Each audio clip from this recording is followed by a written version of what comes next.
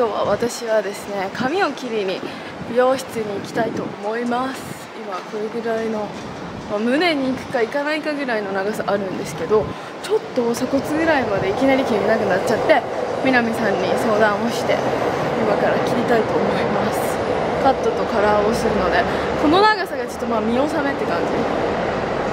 だいぶ伸びたでしょ。なんかちょっと何ヶ月か前に1 0センチぐらい切ったんだけどまあそれは伸びまして。なのでイメチェンな感じで短くしたいと思います。まああのボブほど短くはないのであのめっちゃ雰囲気変わるか分からへんけど多分自分ではすごい雰囲気が変わる長さのはず。もうニュースのところについて今階段を上がっているところなんですけれども楽しみ。カラーは多分オリーブっぽい感じにするんだけど、まあ、ちょっとその相談しながらの様子を撮っていきますので皆さん髪を切る参考にしてみてください。じゃあ入っていきます。南さんいるかしら。おはようございます。岩下。あー南さんです。あ南さんもやっぱ鎖骨ぐらい。うん。かわい。い、ね切るもんねうん、どうしようかなと思って、ね。その長さのバランスは切りますけど。はいそれを取っていきます。お願いします。はい、えー、改めまして今日は南さんにお願いして切ってもらいます。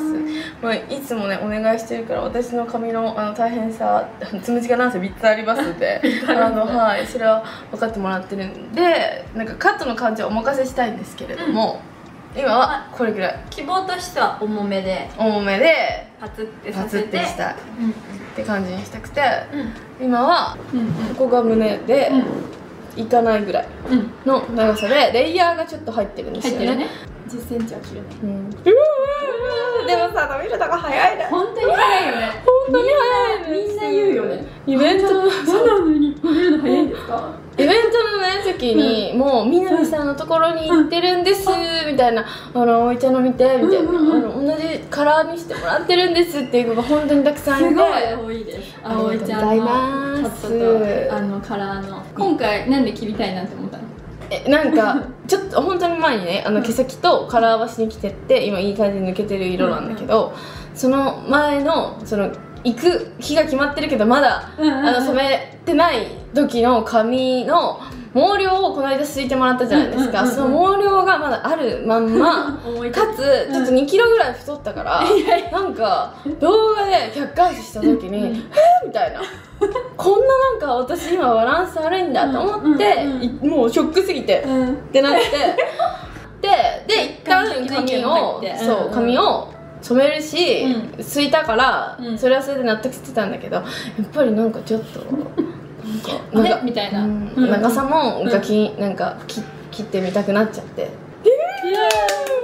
でなんか撮影用にこの辺で短くしてる毛はあのまあ出せるくらいにしたいけどなんかセ自分の普段のセットとしてはこの前髪をうん。生かしたい、これはすごい気に入えってる、長い方の。長い方。この,、うん。この顎ラインのやつは、うん。多分あった方ぼなんか短くなってもあった方そうだがねそうだね。ちょっとここだけ巻くとかできるから、それは生かしで。うん。OK です。いきたいです。かしこまりました。え色どうしましょう？これはこれでめちゃくちゃいい色なんだけど、うん。でもなんかもう本当に伸びるのが早いからそうだね。ちょっとこのカラーとカットは一気に一緒にした方がいいなっていう感じだから、もう前のオリーブみたいな感じで。じゃあオリーブ系で。うん。うん。お願いしたい引です。き続きオリーブで。うん本当いい。定着。オリーブ。オリイベントの、うん、イベントの時も褒められた。あ本当、うん、じゃあ皆さん見納めですこちら。じゃーん。え短くなったらどれぐらいになるだろう？多分イメージはもうこんぐらいかな。あ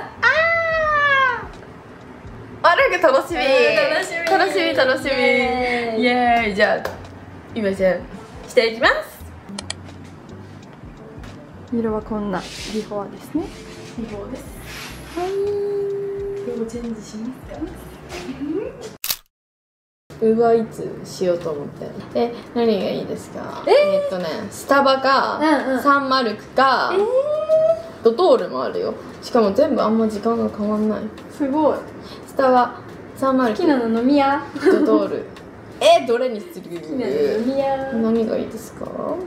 サンマルクのチョコクロも美味しいよね。ね私ねサンマルクでバイトしてたの。えそうなんですか？受けるよねなんかパン講習研修みたいなの受けて、パン焼いてたチョコクロ焼いてましたやばじゃあチョコクロにしよう想像できないサンマルクで働いてるのあおちゃんバイトしてたしてた何でしてたえっと、うんバイト歴。私はうん焼き鳥屋さん、それこそ想像できない。焼き鳥屋さんフグ屋さん。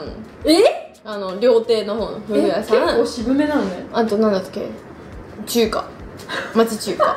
マジで？うまいいいいしょうまいでも本当に今さめちゃくちゃ出てるんですよね、あのあれが。うん。え花粉症？秋花粉症が出てて、うん何か今わかんないけど絶対におかしい。なんかこれのこの時塗ってるさこのてっぺんしか塗ってない時のロングの人の髪の毛ってやばいよね。やばいよね。でもさ毎回さおちゃん隠さずさこの落ち武者あそうそうそうそう。そうちょっとおちょっとハゲてるみたいな。ちょっと。落ち武者スタイルだよね。そうこれウケる。面白い。面白い。これオリーブは？オリーブですポイントは何ですか？でもあの結構ね今まで重ねてきてるから結構色落ちもあいちゃんこうなんだろうな。赤みが出にくくなってるから、うんうん。今までみたいにオリーブすぎちゃうと結構くすんじゃうから、はい。ちょっとこうまろやかにするためにオリーブだけど隠し味が入っております。入っております、はい。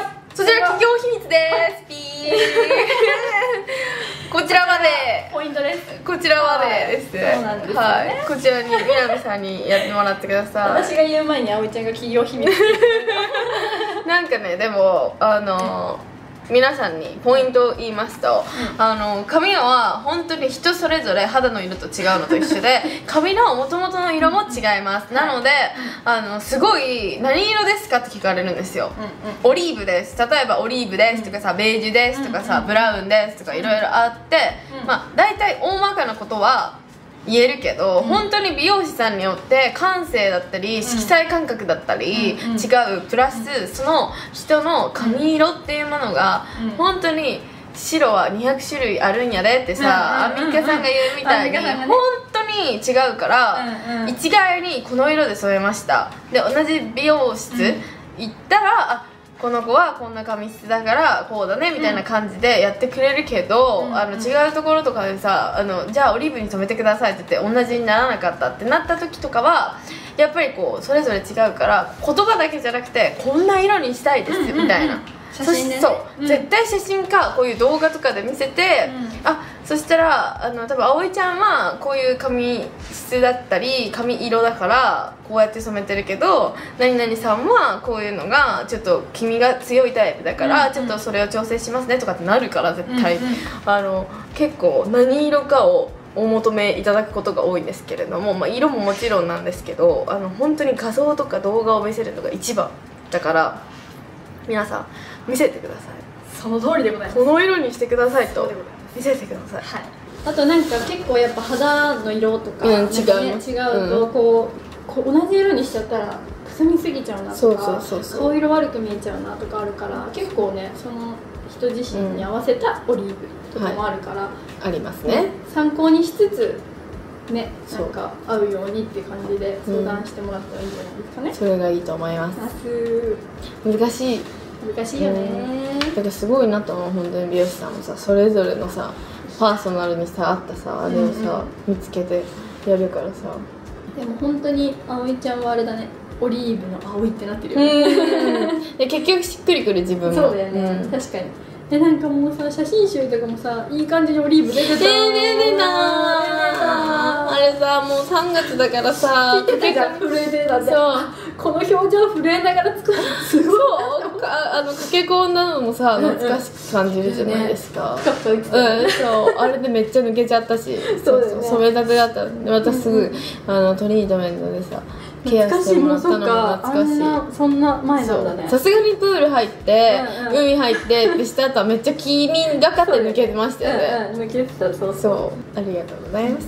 髪色も注目してみてください見てください。皆さんじゃーん。南さんが働いてたというサンマルクに想像つかない。美容師さん以外想像つかない。チョコグロ研修で焼いたって。焼きましたよ。想像焼きました。つきましていい葵ちゃんもラテだってこれ刺してるから。ありがとう。飲んでください。合間に私がバイトしてた時はなんかケーキしかなかったんだけど今パフェとかさありますよね。いねかき氷ありがますよね。めちゃめちゃ大変そう働く方々確かに いただきます。忙しい。サンドイッチとかあったけどね。うん、あったかも、ね。うん今も。でもいつもチョコクロにしちゃう。ねわかるいい音うーん。うんうん。ふうんん。クロワッサンめっちゃ好きなんですよ。あうん。私も好き、このパリパリの中に、うん。このなんかちょっとそんなになんかめっちゃ甘ったるくないうん。チョコが入ってるのが。そうね、うん。絶妙だよね、うん。なんかね。すごい。いい音です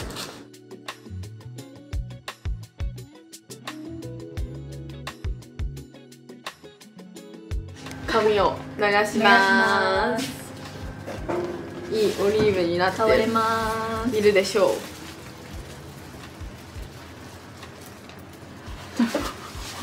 うもっと上だったな大丈夫やばいやばい。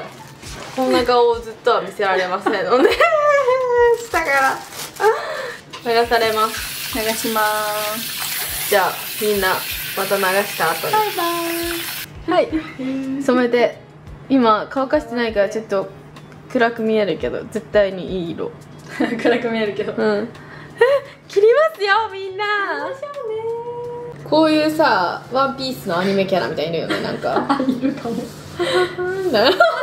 ワンピース見るんだおいちゃん。えなんか実家にいた時はパパがすごい好きで。あパパが好き漫画とかもあったから読んでたんですけど、なんか本当に序盤のナミのところで、うん。なんか抱きすぎちゃって漫画なのにもう諦めた、えーうんでこんぐらいで後ろが。で前にその前はこう後ろからの延長でこうつなげて重めでこんぐらいで。ドキドキ。はい。お願いします。ここが今鎖骨です。こっちなんでね。はい。何センチ？今ね測れるやつがあるんです。よじゃじゃん。えすごい。なすごい。ここにね定規がついて。て何センチですか？13.5センチ。うわー13.5だから前だからもうちょっとさキルクの前だと。そう前のがちょっと長い。うんそうそうそう。ちょっと一回長さあのちょっとずつ相談して決めよう。一回切ります、はいちょっと下にしますか、はいありがとうございます。あここね浮き癖があるんですよね。そうなんです。つむちゃんがいるんで。でもみんなさ、うん。とダイソンのさドライヤー買った方がいいよ。早い。うん、いや早いし、うん。あのもちろん私は、うん。いいドライヤーが好きだから、うんそのホームケアするためにさ、うんうん。サロンとかで使ってるさドライヤーいろいろ使ってきたけど、うなんか何いやまあ風量も強いし、ん。あなんか早く乾くっていうのもうん。いいんだけど、何がいいって、あのブラシ付きのやつがあるんですけど、はいはいはい。があ朝マジで時短時短ブローがさできるようになってんですよそのブラシが。うんうんうん。解くだけでいいの。ヘアサロンとか行ったらさブローしてくれるじゃないですか南さんも。最後ドライヤーの時に、それができないじゃん自分だと。やっぱさこうなんか伸ばしながらって難しいけど、うん。それができちゃうっていう。解く解くだけなのこうやって。へえでサランみたいな。もう本当にそう私さあのそれストレなんかうにょうにょさしちゃったりとか、つむじでさあっち向いたりこっち向いたりするのをさこうストレートに戻す時ってうん。あのアイロンでしてたんですけど、うん。アイロンだとなんかうねうねが治る逆に治らなかったりとか、はいはいはい。そう強く引っ張ってもらわなきゃ、うん。うん治らないなんか微妙に癖あるうねうねみたいなのとか結構あったんだけど、うんうん。水で濡らして、うん。それでドライヤーでブラシするだけでストレートになるからマジ？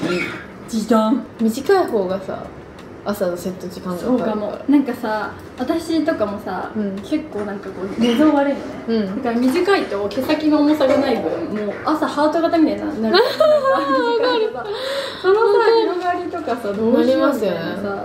なんかこまめには切ってるじゃないですか、うんうん。いあの綺麗に伸びるよううんうんうん。に毛先とかさ、うんうんだけどここまでさ1 0ンチ以上さ一気にあそうかも。久しぶりじゃないですか。そうかも。しかもさ自分の中中でさ1 0ンチって大きいのにさえ？意外と人に気づかれないみたいな。そうなんです。そうなのそうなの。10センチも切ったんですけど気づいてもらってえそうそうそうそう 胸目標掲げてた時もなんかちょっと本当にうん。今よより本当もっと長かった。だから写真集の時の方が長いじゃん。そうだよね。そうそうそうそうそう。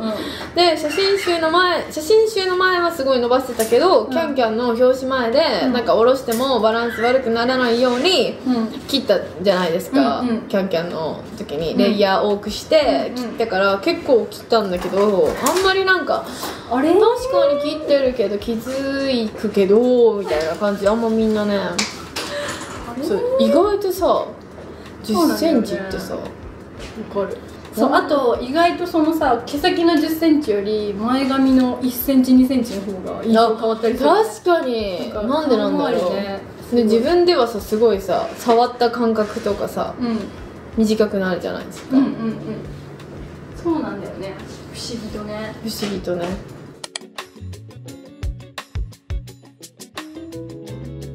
も本当にさ量はいっぱいあるからね。えそうなんですよ目立ちますよねつあのあれにすると。うん。短くしてくと分かる。こんだけ切ったんだよっていう長さをさみんなに見せようと思ったけどなんかパラパラ。パラパラ動く。私の毛が。毛たちが。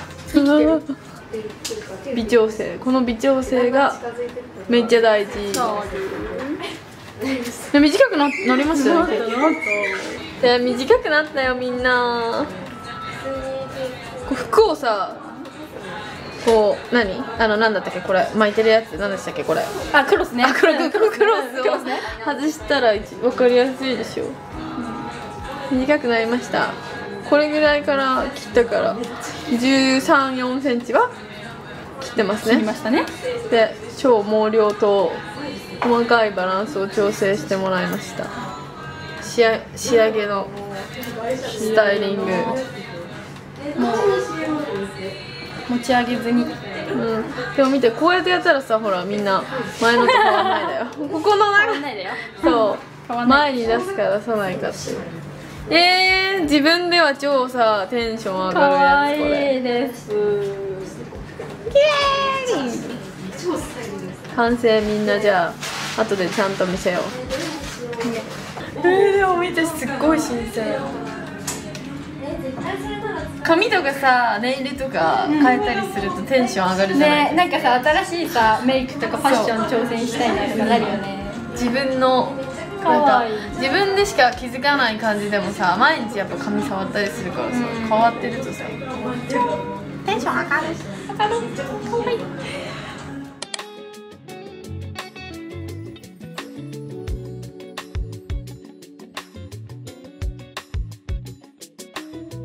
私の毛の残骸でハートを。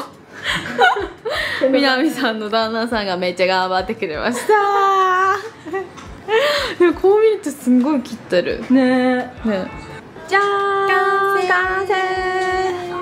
短くなりました。ちょっとまた最後微調整してもらって、こんな感じになりました。10センチ。14センチカットしました。でもこうやってやると本当ほらわかんないでしょ。でもやっぱバランスって大事。今日は。短い短いっていうかめっちゃ短いじゃなくてこのこれぐらいのほんと鎖骨気分だったからその通りになりました。イエーイ。ありがとうございます南さん。ありがとうございます。じゃあし自然光でもちょっと撮って見せたいと思います。あ後ろ後ろ姿撮ってもらおうかな、あのアフタそうだねじゃーん14センチ切りました。ーだいぶもうこの手のさこの、うん。ここがさね。いってなる。ちょっとこうラインをねはい。残してパツッとさせております。かわいい。良いですね。イエーイ。はいこんな感じです。皆様自然光に当たると耳にかけたりするとすごい短いのがわかるんじゃないでしょうか？イメチェンになりましたでしょうか？こんな感じでございます。でも本当後ろにやるとえなんかオープニングで撮ってた私？みたいな感じになっちゃうんだけど前にするとすごい短くなったのが、ね結構切ったはいわかります。1 4センチは。えさすがにみんな分かってくれますよね、これだとさすがにか動かした時もニュアンス出るぐらいの長さで可愛い。う。んそうやってやった。感じとかうん可愛い。そう。つむじが生かされてる感じになったから、あえて私は今回はストレート気味にしたかったのであのなんていうの？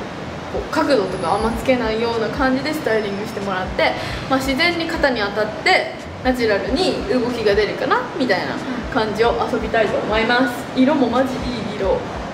染めたてなんでちょっと濃いめに入ってるけど計算してもらっていい感じになりました？なりました。ありがとうございます。可愛いですえ早くさ会社行ってさみんな「どうどうどう？どうどう?」って言いたい。この後行くからあれですけれども。じゃあこんな感じで後ろも。さあ。いいね。動きますね。あ本当になん可か動きがほらなんかうんうんナチュラルに。でも大人っぽく短い方が見えるかも。こういうちょっとかき上げでこうバランスを変えたりとかもしやすくなりました。ので可愛い。ちなみにこれはギリギリポニーテールお団子もできるのでいろいろ遊べそう。うん。下ろしててもバランスがいいのでこれさてなんかめっちゃ可愛い短くなっちゃいそうどんどんねだんだんそうはいっていう感じで今日は私のプチイメチェの動画を撮ってみました。髪の毛、えー、14センチ切って短くなりましたのでよかったら皆さんも参考にしてみてください。うん。なんか本当に自分でちょっと触りたくなっちゃうこのさ、毛がないみたいなのが楽しくてなんか雰囲気が変わって私は大大大満足です。皆さんありがとうございました。あ映ってくださいみんなバイバーイ。